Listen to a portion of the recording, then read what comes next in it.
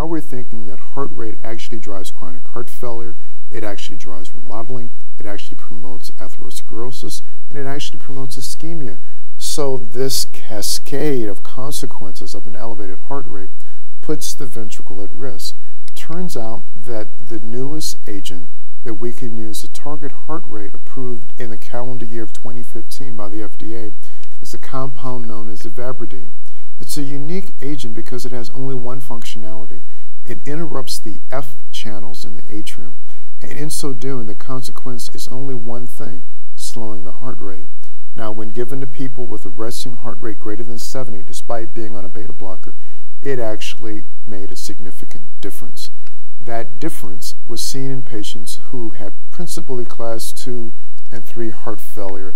It was principally in those with reduced ejection fraction and exclusively in those with normal sinus rhythm. When you add ivabradine on top of the beta blocker, this is what you get. A 26% reduction in the necessity for hospitalizations for heart failure. No real benefit on mortality, so we shouldn't think of this as a way to prolong life, but we should think of this as a way to modify this hospitalization experience. Now, the next new therapy is one that has generated tremendous excitement.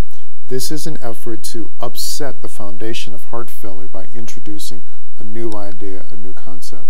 This requires us to digress for a moment and just think about physiology yet again. You remember the RAS cascade, and you know that the consequences of this cascade is the elaboration of angiotensin II.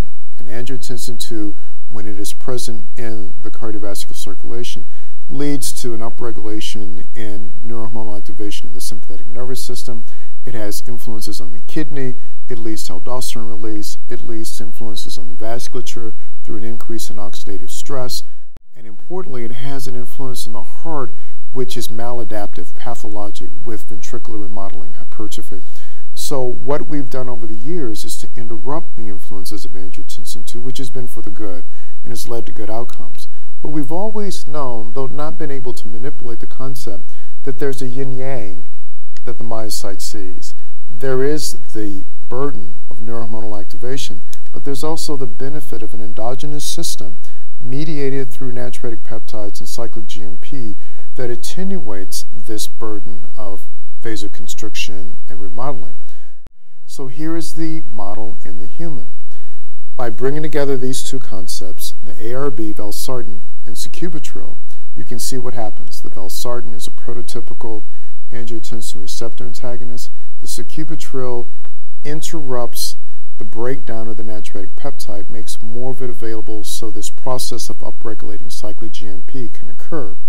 Now, one little caveat here is that this is one of the first times where there's an important distinction between following your patient's progress with BNP versus NT-proBNP because it turns out that BNP is likely to go up in the setting of sacubitril. Only NT-proBNP will vary accordingly with the patient's clinical status. So keep that in mind as you're looking at using that biomarker in the setting of this drug.